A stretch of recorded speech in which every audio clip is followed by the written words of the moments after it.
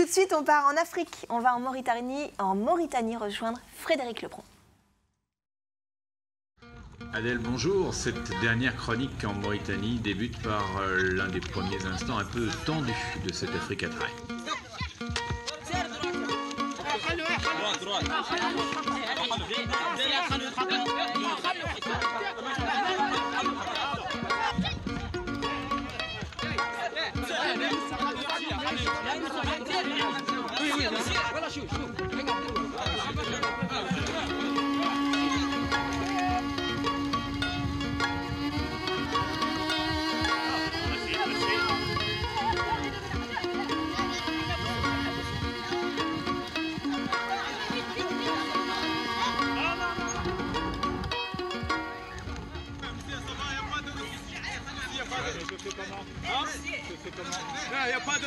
Finalement, tout s'est bien terminé. C'était une manifestation de, jeunes lycéens. Trois barrages successifs, plus de trois quarts d'heure pour traverser ce village à quelques 100 km de la frontière sénégalaise. Voilà arrivé à Rosso, c'est-à-dire le frontière entre la Mauritanie et le Sénégal. Je suis même sur le bac de Rosso, puisque cette frontière, il faut euh, traverser le fleuve Sénégal. Et je vous avoue que ça fait euh, du bien de voir autant d'eau après un mois de traversée du désert.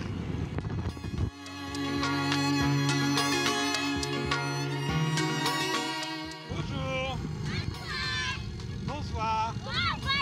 Bonsoir, ça va bien vous aussi? Ce matin Adèle, je me lance sur ma première piste de latérite. Cette terre rouge que l'on retrouve sur beaucoup de pistes africaines. C'est un peu comparable, si vous voulez, à la terre battue de Roland Garros.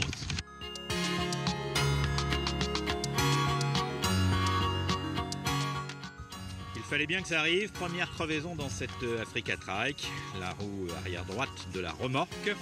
Malheureusement, euh, je pense que le pneu a lui aussi pris un gros choc. J'espère que ça va tenir.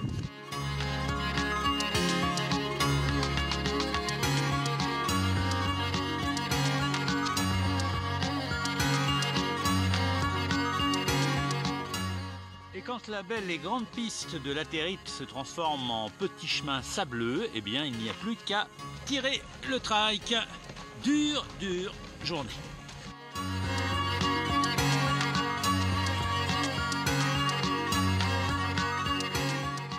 Deuxième journée sur cette piste et deuxième journée de galère. Ils sont en train de, refaire la piste, mais du coup c'est tout un tas de, de petits gravillons, donc ça n'avance vraiment pas vite et c'est surtout difficile.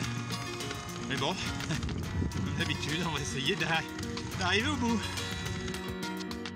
Allez, une bonne nuit d'hôtel pour moi et le trike et tout ira bien demain.